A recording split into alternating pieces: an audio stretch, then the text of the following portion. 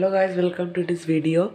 In this video our question is how many slabs of cement are required to tile a platform of length 8 meter and breadth 6 meter if the length of each slab is 4 centimeter and breadth 3 centimeter? So this is our question. So now I solve this. First we length of platform.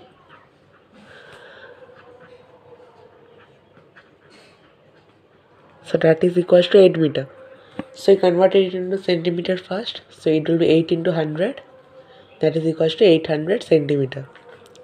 Now the breadth of the platform.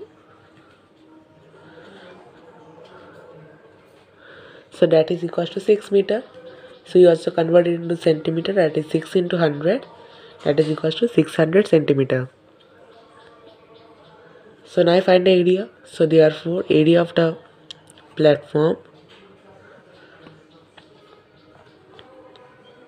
so that is equal to length into breadth so it is will be 800 into 600 centimeter square so I keep it like this only now now find the area of the tile so first length of the tile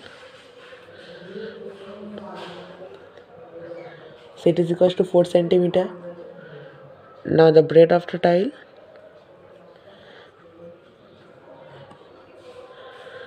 So that is equals to 3 centimeter. So now therefore find the area. So the area of the tile equals to. So similarly length into breadth that will be equals to 4 into 3 centimeter square. So now right? So therefore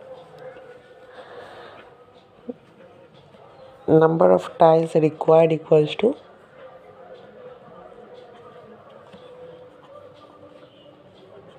area of platform